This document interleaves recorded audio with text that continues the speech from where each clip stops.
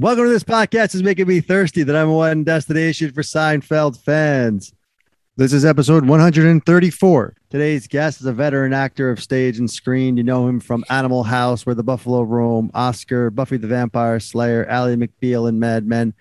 And of course, he played Bob Cobb, the maestro, in two oh. Seinfeld episodes, The Maestro and the Doll. Please welcome Mark Metcalf. Mark, thanks for joining. I can't believe you used that name. I still cringe when I hear that name. yes, thanks. Welcome. Welcome to you all too. Odd, good selection of credits to read out. Where the Buffalo Roam? Have you actually seen Where the Buffalo Roam? Oh yeah, yeah, yes, yes. I I have to say, I saw it. I wanted it to be better, but I still liked it. Obviously, it's still a classic. I still love it. Uh, you know, yeah. I'm a big Bill Murray fan, and Bill Hunter Thompson, Hunter S. Thompson fan, so I definitely have seen it several times. But yeah. it's one of those. Every time I watch it, I'm, I'm, I'm more and more confused as to like what is like. It, it just never seemed to connect. It never came together. Right? Yeah, but it's yeah. you know, still you know, it's. I don't know why. I haven't seen it since it, actually right after it was made, so I don't know why. Art Linson's a better producer than he is a director um, I don't know. And uh, Hunter was was hovering around while we were making it, but he wasn't allowed on the set or allowed to be nearby. He once, I'm told, I didn't see it, he uh, came to the set with two pearl-handled uh, 45 revolvers and forced his way onto the set. That's right. but, well, uh, let's let's shift back to Seinfeld, Mark. So yeah, sure. So take us back. I can't believe it's been 27 years ago. The Maestro, named obviously for you, incredible honor. It's very rare that an episode gets named after a guest star, but you certainly stole that show. So 27 years ago, The Maestro aired 17 years after um, obviously Niedermeyer and, and, and that incredible right. film. But tell us a little bit about how the role of Bob Cobb, as you mentioned, oh. um, came about? Was there an audition process? Tell us a little bit about. Uh, I will if you. Pro- I'll tell you if you'll promise not to use that name again. Um, yes, uh, yes, of course there was. I don't know how many people, but probably everybody who seemed to be right. Maybe 500 people auditioned for it the first time, and I didn't. I saw three or four of them when we waited in the lobby uh, to go in, and then that was, I think, probably on a uh, Wednesday, maybe. And we all knew that it was going to start shooting the following Monday. And I didn't hear anything the rest of Wednesday, and I didn't hear anything Thursday until late in the day. And then I got a call from my agent said they want to see you again tomorrow, Friday. So I went in Friday and read again, and now they'd whittled it down to who knows, maybe 15 or 20 people. And uh, I auditioned for them then and had a good time. They laughed. Jerry was there, uh, Larry was there. I think Jerry and Larry were both there for the first audition too. And I went home and thought, well, I'll hear something later tonight because they start shooting on Monday. And I didn't. But on Saturday, I got a call from my agent and said they want to see you again on Sunday. Could you go back? And I lived at this time in Port Hueneme, California, which is about, excuse me, about 50 miles north up the coast from L, from L.A., where they sh- where they shot it and where they did all, all the auditions and everything. So I drove back down and auditioned again on Sunday, and thought, well, I'll either get it or I won't get it. What can I do? And I came home and late Sunday night, I got a call. They said, yes, they want you to do it. Be there tomorrow at 10 o'clock. So, yeah, I auditioned like everybody else, and uh, they whittled it down and eventually decided that I was the one they wanted. Very cool. Your your your first your first uh, scene in the first episode, the Maestro, when you you knock on Kramer's door with a little bit of a beat.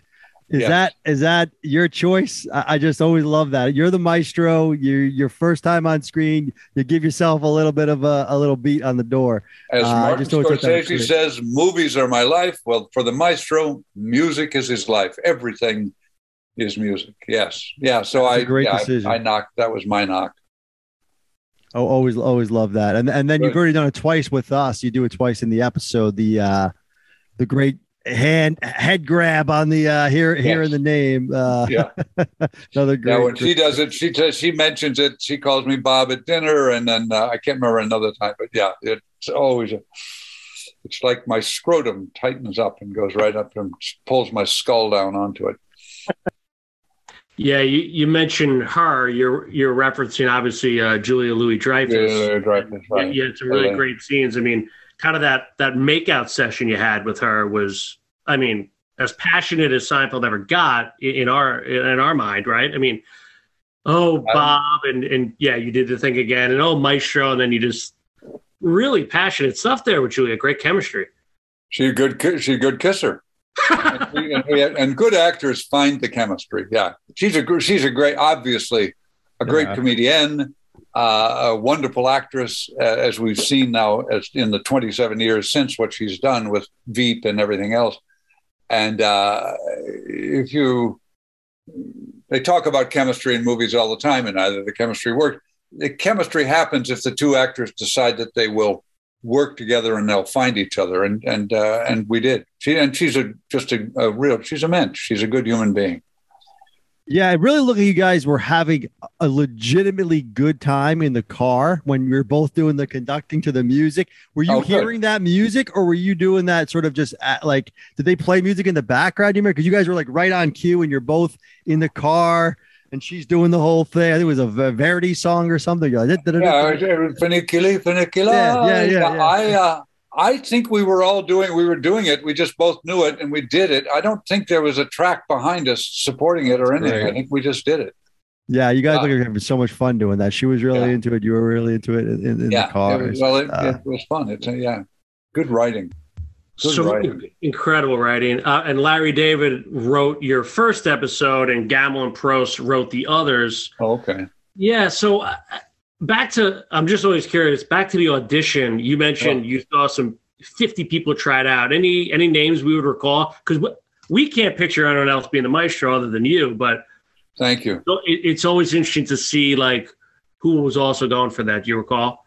I I don't know. And as I said, they eh, eh, eh, they kept us separate, so we didn't see everybody. And I didn't ask because for me, and I think it's probably true for most actors, I would rather just be working against myself rather than against the. I'd rather not have to audition next to uh, uh, uh, who uh, I don't know who the actors are. The Robert De Niro, okay, from somebody from my generation.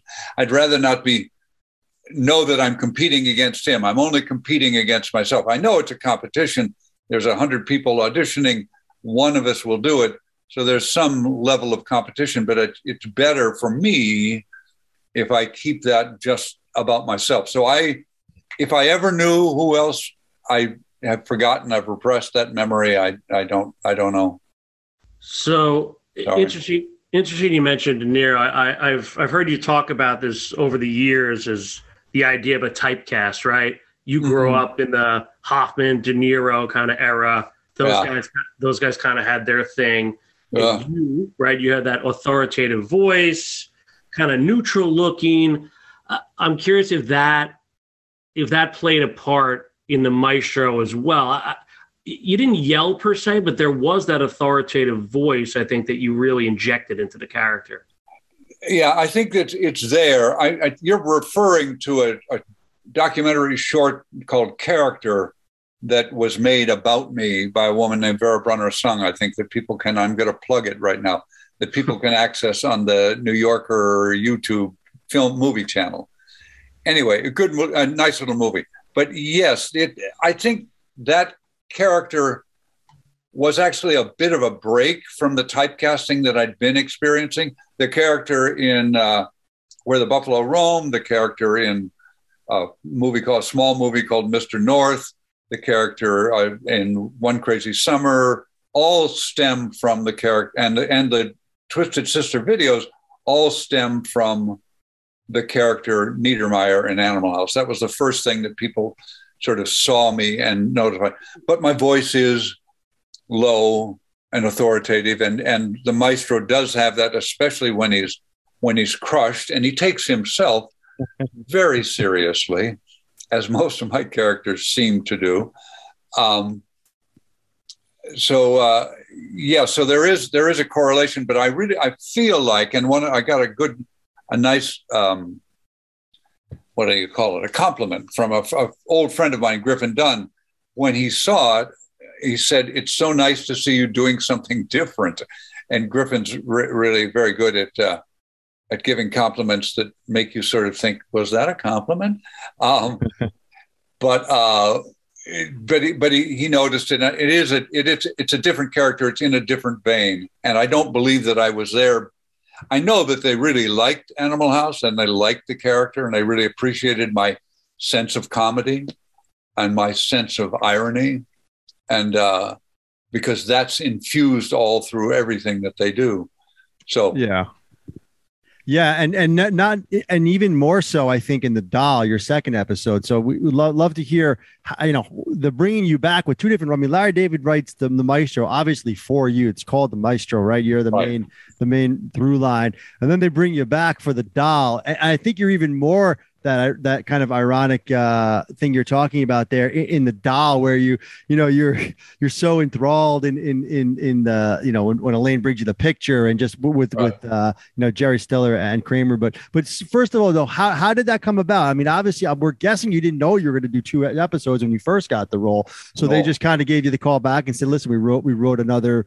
You know, wrote yeah, you back in. I mean, that, that that's exactly what they did. I, I don't know if they had planned it or if it was they liked the character, liked what I brought to it, and they said, let's do something else with this guy. And they wrote it. Um, I don't know. I at one point suggested to Larry, Larry and I had a long conversation at the wrap party. They do a big wrap party at the end of every season. At the end of that season, 97, I think we shot it. Um, we were in a long conversation with Larry, and I suggested that uh, he do a spin-off called The Maestro that there was enough. but uh, he thought he'd do a spinoff about himself instead, I guess. So. Right. We were actually talking about that before you came on. That uh, we could see the maestro in, in a in a curb episode. It, it seemed like almost a curb storyline, kind of where yeah. you know it just seemed like that kind of character where you know Larry has a you know uh, an orchestra come to his house for some benefit, and there's the maestro. Like it just seemed like a Larry David esque thing, you know. Send Larry a letter or call him, or, or next time you see him when you're well, what's yeah. funny, Mark, is we spoke with uh, Phil Morris, who was Jackie Childs. Obviously, oh, played, oh yeah, yeah, he played a part in uh, your episode as well. Yeah, and actually did try to make a spin off of him. Like, I, if so, if somehow we can combine those forces and have a a Jackie Childs Maestro spin off, I think we got something at NBC.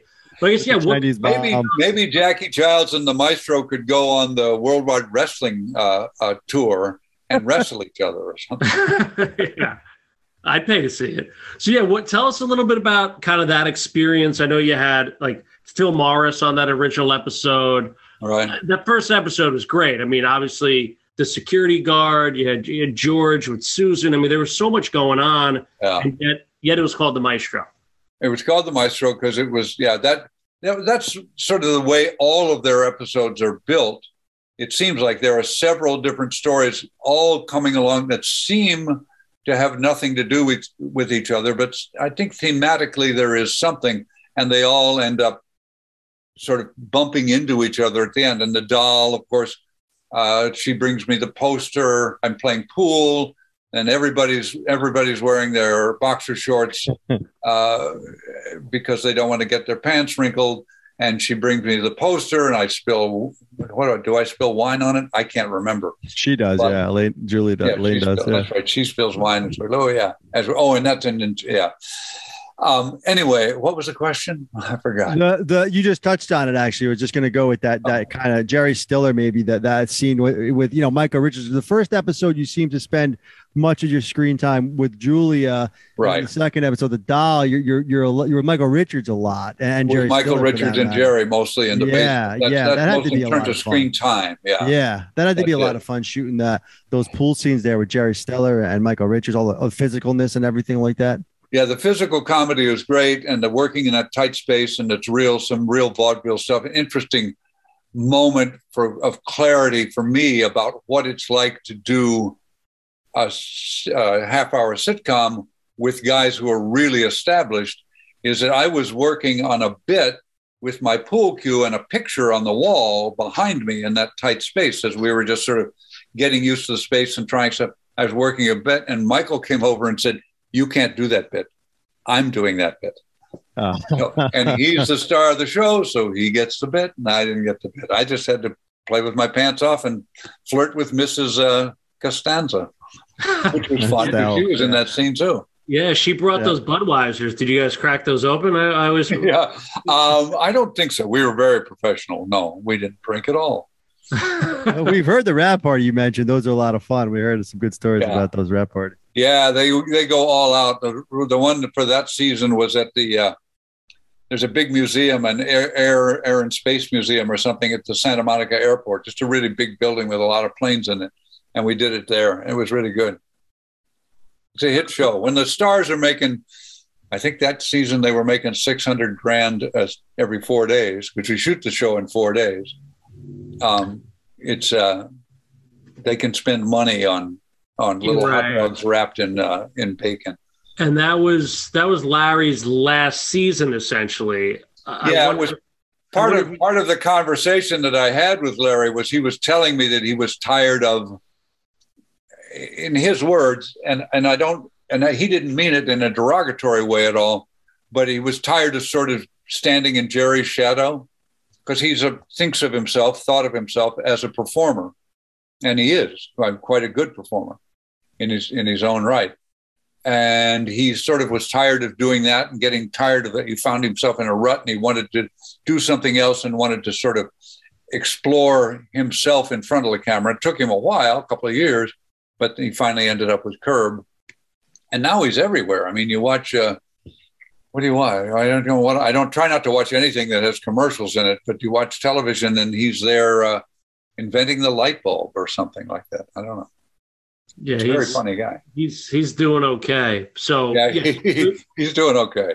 So did you kind of did you feel that kind of vibe on the set? I know you talked about the post party, but during those two episodes, did you kind of know like this might be his last kind of run at I, it or you no i didn't have didn't have any idea i didn't feel it until until we had that conversation during the wrap party i didn't i wouldn't have guessed it again as an actor in the in the part in the play in the whatever it's called teleplay uh, i'm not paying attention to too much of that stuff i'm not necessarily I, i'm not into sort of gossip, not to demean it or anything like that. But I, so I'm not really paying attention to that. I'm really paying more attention to my character and the relationships that I have with other characters and and the and the the structure of the scene, trying to find it and elucidate it, if so, I can use a big word. That's a that's an SAT word. So speaking of yeah, speaking of your character, the maestro. I mean, how did you uh, did you talk to anyone? Like, how did you? Whenever I think of a maestro now, I think of you. You know, I don't know. Like that's that's my reference. But thank you. When you watch Lenny Bernstein, you think exactly. I mean, it's like, so how did you, how did you get ingrained, like, in becoming an actual kind of conductor and maestro? What kind of well, I listened. I didn't have much time because, as I said, we went to work on Monday. That's right. I listened. I listened to a lot of classical music anyway, and no classical music. As I often say, uh, I stopped listening to popular music when Beethoven died. But so I listened a lot of that, and they brought a, a conductor in to sort of teach me how, without the baton, uh, a conductor might conduct something. So in that car scene, I can conduct the way he might with the hands, uh. hands at the end. And so, he, and I worked with him for an hour, a couple of hours, and mostly with that kind of stuff. And that kind of by that kind of stuff, I mean that genre, that kind of play, that kind of theater, because it's all theater in one way it's it's about knowing, as John Gielgud, Sir John Gielgud said, style is knowing what kind of play you're in. Well, I knew I didn't know Seinfeld that well, but I could read the script and I watched it enough that I knew pretty much how they made it. So I spent most of my time trying to find the rhythm of that universe because it's every one is a complete universe into itself. And so Yeah. I didn't Um, have time to do a lot of research, but no, but it sounds like I mean you, you had it down for sure, and especially that final scene. I love the final scene where they show the crowd. You know, the big maestro. He's in front of the, the you know the right, queen's and the bent and the bent baton. yeah, Yeah. with the bent baton. I mean, it's like such a such. Speaking of that irony thing, you take yourself so seriously that you're in front of this crowd of uh, you know elderly people in Queens just doing I'm- the you know. I'm sure you've had Larry Thomas on, probably. Uh no, we have not actually. Super The Nazi. Soup Nazi, oh, no, no. no, no, no. You- Oh, you should. He liked. You know we did have on, which reminds me of your character a lot, actually. And I'm not sure. I know you mentioned you did watch Seinfeld. I don't know how much of a fan of the show you had been prior to season seven, but um, Anthony Starke, who played Jimmy, um, I feel like there's a little a little correlation. Jimmy, the guy who sells the shoes, the strength footwear shoes, and he also had this like little bit of like anger behind the character that's just a little like could snap almost, kind of how you would be if someone said Bob Cobb, where you're just like there's a little edge which Right. which Seinfeld had a lot of uh, more than most sitcoms where the, the Yeah. characters would have a bit of an edge and you know the humor uh, sometimes w- w- was was kind of in that almost almost darkness in a way I mean it wasn't a black comedy like a dark comedy but it was it did for that time especially you know when sitcoms were around they're mostly family and just kind of lighthearted and but uh, you know, Cobb had this where you never know. He could just, you know, uh, he just got a little bit anger there, right behind, right behind there. You could tell, you know. Yeah. No, that's that's I think the brilliance of the writing, and it's, it's inherent. You can see it in Curb, you can see it in everything Jerry does. That there is that recognition of the of the light and the dark, the good and the bad, and that characters do have, and each of them certainly has an edge. I mean, the last episode, the hour long episode, is basically about what horrible people they've been for nine seasons, and they get and they get punished for it at the end. So they uh, they uh, they they send themselves to jail at the end. Yeah, and you, like we mentioned, you had scenes with, you know, a variety of characters within the show. You were kind of the ne- the nemesis to Jerry, Right, You're friends with Kramer, obviously a love interest with Elaine. right. Kind of, I guess, kind of speak to kind of the relationship you kind of had with each of those characters and kind of the the chemistry because you you need chemistry when you're kind of the villain as well. Even with Jerry, I mean, Right. I, I, yeah, I love that stuff, and obviously the, the friendship with Kramer. Just, of course, I love how he's friends with everybody. You know. Yeah, he no, he is. He's friends with everybody, and he's easy to be friends with. And in order to sort of cement that, part of my knocking on the door, as you mo- notion, as you mentioned before, besides it being musical, some of that is to echo the kind of entrances that that Kramer always does. Mm, yeah. So that if, if I mean, if you can uh, bear with me, getting a little anthropological, I, I wanted the maestro to be part of the same tribe that Kramer's part of, in a way. Um, so, so there's and that and he was, even though he stole my bit with the picture, he's a he's a wonderful physical comedian, obviously, and great to Yeah. work with. And all you have to do is is not get in his way so you don't get it knocked down and uh, and he's, he plays right into the moment. And I had known, or George said that he had known me in New York before, and I think I had known of him. I don't believe that I actually knew him, uh, but he knew of me in New York when we were small stage actors. And uh, and he's a wonderful actor, a good actor, a very inclusive actor. I mean, a lot of actors and some movie stars tend to be tend to do the work all by themselves. They don't work with the other person. But stage actors have to work with the other person because you're on stage with them. And Jerry has such a great appreciation for good actors and talent. And, and I mean, you can tell that by what he's done with his life since, besides going on road, going back to stand up. But the, the thing he did with uh, Ricky Gervais and uh, C.K. Dexter Haven, not C.K. Dexter Haven, what's his name? Louis C.K. Louis C.K. Yeah, yeah, yeah. You know who C.K. Dexter Haven is? I don't know. You should watch watch a movie called um, uh, oh gosh, now I can't remember it. I'm blanking on the name. Philadelphia Story. The Philadelphia Story with Hepburn and Cary Grant and Jimmy Stewart.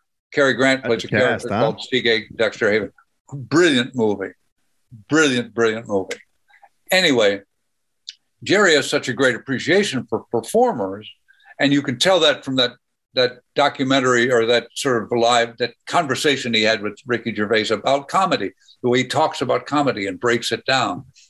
So he's great to play with because he just is so happy to be there with you. If you know right. what you're doing and you're doing it honestly. And I mean, you can see if you watch that show regularly, and I don't, I don't, I, like, I don't know all the characters the way you guys do, but you, you can see him cracking up sometimes. Yeah, because for sure. He's having such a good time just yeah. watching. And Elaine, we've talked about Elaine. Elaine's a brilliant comedian, brilliant actress, and uh, and it, anytime you're working with people like that, it's like playing tennis. They always say play tennis with somebody who's better than you are because your game will get better. And the same is true of acting. The same is probably true of anything. Don't unless you just want to keep patting yourself on, on the back and feel really good about yourself. Don't play with people that are not as good as you are. Play with people that are at least as good or better because it makes you come up, it makes you rise. And that working on that with those people, with that that kind of writing, makes you rise. You you rise, or you get terrified and you sink. Right, right. Yeah, I mean it's well said. And you know, sp- and speaking of that, I mean, we'd be remiss if we didn't ask about. I mean, Douglas Kenney. Uh, speaking of, you know, kind of a, a yeah. genius, you know, comedy, you know, icon in, in, this world. And you, you, you were in Animal House, and then you were also in uh, a stupid and futile gesture, which I thought was kind of nice. That you kind of were in the movie that was about Douglas Kenney, and and uh, you know, and yeah. also the movie that he wrote, right? And I, I, wish that movie had been better. I thought the book was pretty good, so I said I'd do it. I wish the movie had been better because I, I have was, almost the same feeling as I do about a Buffalo Roam with that with that movie. Is that I think it could. I feel like it could have been better too. It was it was well done. I thought because I, I didn't know a lot of the story. I didn't read the book yet. I need to read the book, but yeah. uh, um, I just it's just great. You know, I just wondered if you if you had any any stories there about you know working with him or even just working on Animal House with with with the, you know that those kind of iconic. Uh, yeah, working with and, working with Doug was was great. Uh, I didn't have any any screen time with him but I spent quite a bit of time while we were making it with him, primarily because he told me early on that Niedermeyer was based in part on his older brother, who, hmm. if I remember correctly, died when Doug was fairly young and was also kind of the golden child, the chosen one, the one that was going to do everything right. And they need, and I can't remember how he died. I can't remember. I apologize. But uh, but so I talked to him because I wanted to honor that in the way I played the character without without taking it too serious uh, seriously, but uh, just the fact that it there was a gravitas to the way Doug talked about that character uh, that that is what makes it work. I think it makes the character work, and it's what makes the whole story work. And so many of the imitations and spin-offs not work is the fact that there is a real gravitas, a, a, a, a dark and serious center to everything. Yeah, that that's, that's where the comedy, the comedy, comedy works better if it's not trying to be funny. Right, exactly. There has to be that, like you said, that dark. Yeah, that's where Douglas Kenney, yeah, had I think. Um, are you um are you still in Missoula? Did you? I know you, we we read that you live in Missoula. Is that still where you're at I now? Don't. I, I unfortunately okay. I had to. I moved from there. Uh, I had to move. I was chased out of town. No, I did. I lived there. I'm going back there in about three weeks yeah, to go play. I, I, lived there for a little bit too. Um, oh yeah. I actually worked and lived at Glacier National Park. And, oh, what a great in place between, yeah, exactly. So I lived at Glacier Park for a summer, right. and and then I moved to Missoula for like the winter, spring, went back to Glacier Park for another summer. Right. And then I said either I'm going to do this for the rest of my life or I got to like get back to reality. And I came back to New York and stuff, but I was this close to doing it again because it's amazing. But uh, I know that you had lived in Missoula, just, you know, Top Hat and, uh, and yeah. Oh, you were there during the Top Hat years. So oh, yeah. There when I was there. Yeah. I saw Bernie Worrell at the Top Hat. I don't know if you know oh, Bernie. Oh, yeah. I saw Bernie Worrell at the Top Hat. There was like, you know, not even 100 people in the place probably. is incredible. But, um, yeah. you know, there are a lot of people in Missoula who, who would say that moving back to New York City was not moving back to reality. Very bad. That's the right way to say it. Yeah, you're right about that. By the way, it's not there anymore. The top hat. Are you telling me? Is that is that true? It's not there anymore, or is it still there? No, the top hat. The top hat's still there. That guy, oh, uh, Nick, okay. uh, has gone. Uh, all entrepreneurial. He bought the Wilma around the corner. Oh, he owns the Wilma too. Oh, wow. Yeah. And yeah, the top hat. An open air venue out at the at Big uh, Sky. Uh, no, not, not Oh. Big Sky. Out, out where the Blackfoot uh, runs. Oh, into that's the by Glacier. Called Kettle, uh, Kettle House. Kettle House Brewery, and he owns it. I think, or he he put it together. But Oh, Kettle House Brewery cool. put up That a lot wasn't of there. money. Yeah, yeah. That's a fun. That's a funny line though. Yeah, you're right. It wasn't reality, but I, I, just, I, yeah, I, I so you get caught up in that, that, that yeah. Glacier Park world and, and the black and the that whole that whole area. Oh area. yeah. But, uh, and and and there's uh uh there's not a lot of there's a low ceiling there. You mean you re- you reach the top of the food chain pretty quickly. yeah, I mean, that's true. intellectually, emotionally, psychologically, pretty quickly. So you go back to New York, you get challenged a little bit more, and you find out more about yourself. I'd move back to New York in a minute if I could afford it. So you did live you you did live in New York, huh? Oh, I lived in New York from 1971 till 1993, I think. Yeah, yeah, I lived down the Lower East Side. Oh wow, all right. And where Or you some- Go but ahead. you you grew up in Ohio? Oh, I was born in Ohio, spent summers in Ohio, uh, grew up until I was 14 in uh, Missouri, a little suburb of St. Louis called Webster Groves, and then moved to New Jersey. Went to high school in? New Jersey, went back to the Midwest to Michigan to college, and then went on the road because it was the Vietnam War and I didn't want to fight. So I went underground uh, out west for a couple of years, year and a half about, until I got back. And then I, uh, what happened then? Oh, and then I started doing professional acting and did a season in Milwaukee. And then I moved to New York after a season in Milwaukee, at Milwaukee Rep. I moved back to New York because that's where the theater is. Wow. So wait, where in Jersey did you was that stop? Westfield, Westfield, Colonial okay. West, Colonial Westfield. Do you know Jersey? Yeah, yeah. I'm in Westwood right now. It was Oh, okay. Bergen, but yeah, Westfield is you know on the way a little south. Yeah, we're just uh, just off of Route 22 near Mountainside, near Cranford, Scotch Plains, all that crap. Yeah. Yeah. The uh, Scotch Plains. and then uh, and then so you're a Wolverine when you say Michigan. Yeah, I was a Wolverine. Oh wow! All right. I played. Uh, I played on the freshman basketball team the year after. I think Cazzie Russell was a senior. I think they'd won the NCAA championship the year before. I was, I was a walk on. I didn't. I didn't. Nobody recruited me. I was a walk on. Made the freshman team, and then we scrimmaged against the varsity. And I was a guard. Cazzie was a bar. I don't know if you remember Cazzie Russell. He Yeah. played for the Knicks later. Uh, he was a guard, so I guarded Cazzie Russell.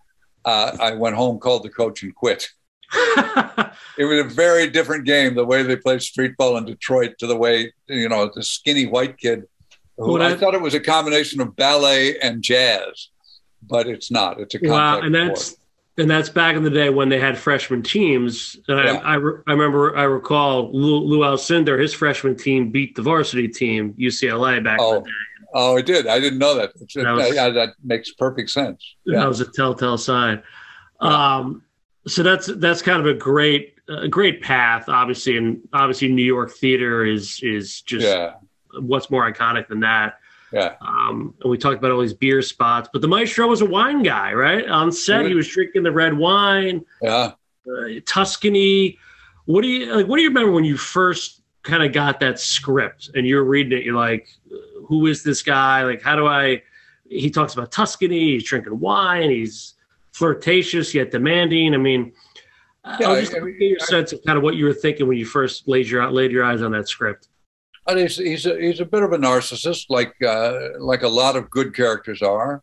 Uh, egocentric, uh, slightly pretentious, but takes him and takes himself very seriously. I could tell that right away. Uh, I let the notion of being of living your life in classical music uh, imbue me with with. Uh, or I let classical music sort of imbue me with that kind of com- com- the complexity that classical music has the depth and the layering and stuff like not that I layered the character that much, but I certainly let that sensibility move through me as much as I could. Um, yeah, uh, I, I mean, I, I got it, and I thought I want to just jump back to An- I got when I got the script of Animal House, I was told I was auditioning for the part of Otter, uh, the Tim Matheson part who gets all the girls. Mhm. But Landis said to me as soon as I walked in the door, Do you know how to ride? And I knew right away what he was talking about. Because, as Bruce McGill said later, and we agreed, Niedermeyer is the best acting part in that movie. for an actor. He maybe won't get the most attention, but it's the best part because he so takes himself so seriously. He's just there's and there and you can add all kinds of depth to him, all the depth you want, and he's still going to be funny. He's a buffoon, and you don't have to try to make him a buffoon. I mean, he's a fool. He's like one of Shakespeare's fools. The more serious he is, the more committed and, and connected to his vision of the world he is, the funnier he'll be. And the same is true, I could see for the maestro, because yeah. he has that kind of yeah. sense of self involvement, that sense of narcissism. Not, not narcissism the way we've learned to understand the word uh, after four years of Donald Trump. Oh, now it's an evil, evil thing. And it's not a healthy thing. I don't mean that. But there's a sense of just everything you look at in the world is telling you about yourself. And the, the maestro is that kind of character. Yeah, it's funny you mentioned the word foolishness. Like, yeah, police, uh, police benevolent association conductor, but there was such a command, right? Like Seinfeld's a show you relax, you watch, you're relaxing, but like when you spoke, like I kind of stand up and listen. Like the maestro had such a, uh, you know, a command to him, even though it was like how we want to make out the lane. Or, Swoop the lane up real quick. Like like Jerry said, you really worked the. Uh, I mean, that's one of the best uh, best pickups in the whole show. Better than Lloyd Braun, even probably. It was uh, definitely. Uh... Yeah, see, we got Ralph right away, right? We, we we say the same thing at the same time, and do we do uh, uh, Pope kind of thing, or that? Yeah. Um, yeah, well, I, I mean, I think that kind of comes with my it's hard for me not to do that. I can't play uh, Hugh Grant kind of stuff. Uh, J- Jimmy Caan used to call Hugh Grant Skippy because he was like a little dog named Skippy because he's all over the place and fun, funny and charming and does his own stuff. But I, uh, yeah, because of my voice, because of my brain, probably, um, I have uh, and a kind of authority where if I speak, you sit up. I'm glad you sit up straight when I speak. That's good. I'm not going to punish you. It's all right. you get an A for this class. Well, yeah. Luckily, I'm standing tonight, but um, like I said, Mark, this this has been a treat. You, well, you know, your your your presence, your command, your your whole career has just been really special, and you know, especially on Seinfeld, which we focus, of course. Right. Um, it, it, just such a treat, and uh, can't thank you enough for joining us tonight. Yeah, that's all right. You guys will be in business for a long time because I think that that show will keep playing and playing and playing and playing and playing for a long time. Yeah, I mean it's it's, it's like it, the whole show is iconic. It's it taught the television hasn't come up with anything as sort of that changed it as much as Seinfeld has. Uh, they haven't come up with anything yet, I don't think, except maybe Reservation Dogs, which I think probably uh, owes friend uh, Kimberly Guerrero. We spoke with. Uh, we what? spoke with Kimberly. We spoke with Kimberly Guerrero from Reservation Dogs. She played Winona in in Seinfeld. Oh, yeah, yeah. Scar Indian. Yeah, yeah, yeah. Groundbreaking. That's what we said about you know that show and, and also Seinfeld. Like you said, it's groundbreaking. Yeah. And I think I think even Reservation Dogs owes something to Seinfeld the four four characters. I mean, I, I just read something that said it it it came off of Friends, but Friends is so directly related to Seinfeld without the without the right. edge. Right, and right. Reservation Dogs has the edge, so I think it's much more. Uh, it, it, it probably wouldn't exist if it hadn't been for Seinfeld. So yeah, and listen, name name a show of Friends that you remember, like the Maestro. We all remember it, right? At the end of the day, yeah, uh, that's the impact it had. And the, the guest stars shine. So, yeah. Mark, thanks so much. Thank, Thank you. you I appreciate it. Great. Thank you, guys. You're doing a good Thank job, you. and it was fun talking to you. thanks a lot. Bye bye. Yeah, bye.